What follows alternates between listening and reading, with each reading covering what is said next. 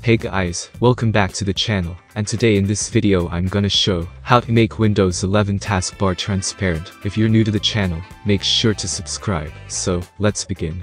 Microsoft hasn't integrated an option for making the taskbar transparent. Although you get several themes in Windows 11, and with that, the taskbar appears translucent. For making the taskbar transparent, open Microsoft Store and install Translucent TB.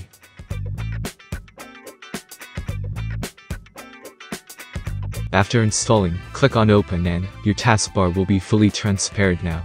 So, that was it, hope it was useful, consider like for the video, subscribe to the channel, and if you have any question, just comment down below, thanks for watching, and have a great day ahead.